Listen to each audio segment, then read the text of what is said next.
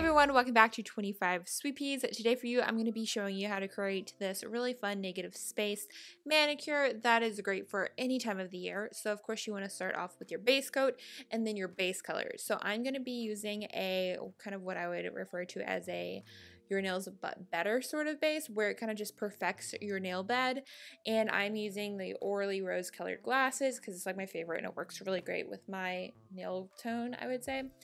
Gonna let that dry and then I'm gonna grab some white acrylic paint and put a squiggle line on it. I guess that's what you would call this. A very curved line. Kind of just let your brush go with the flow. Go ahead and take this step pretty slow so you can get a pretty crisp line, but if it's not super crisp, don't stress about it. You can kind of just fix it with your nail pull, like with um a dotting tool or something, but really doesn't need to be perfect.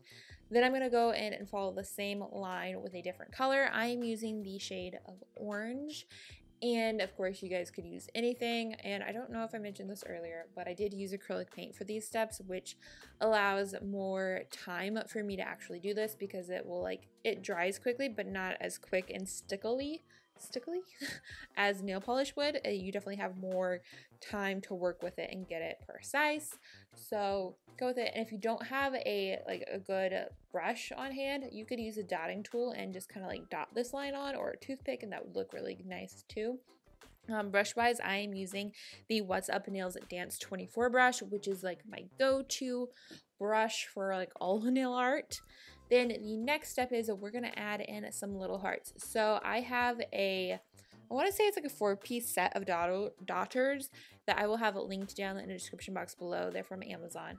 And I'm using the green tool and the smaller one on the green tool. So what I did is I put two dots at the top of what's going to be the heart and then I used my brush and brought the heart down and filled it in. I kind of like forgot to film it there so I'm going to show it here quickly. You guys can just see. I just come down from the dots and make a little triangle and then you have a heart.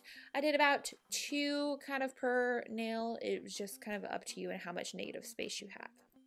Next up, before we put on top coat, I actually wanted to tell you guys about a new top coat. I have recently been using the new Zoya, what is this one called? It is called the Naked Manicure Ultra Glossy Seal Top Coat that they sent to me around Christmas time, and I really, really like it.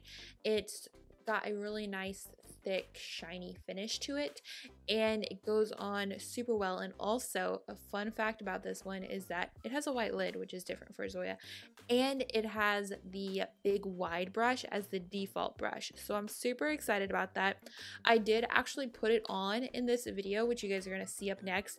However for the photos I ended up switching to a matte top coat so I could get the design to look better on camera but yeah just wanted to kind of fill you in on this top coat because it just applies so well.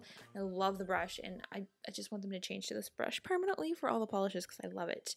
But that is it for this design. As you guys can tell from my video, you can definitely do shiny or a matte. I did shiny then for photos. I wanted matte, so I switched it.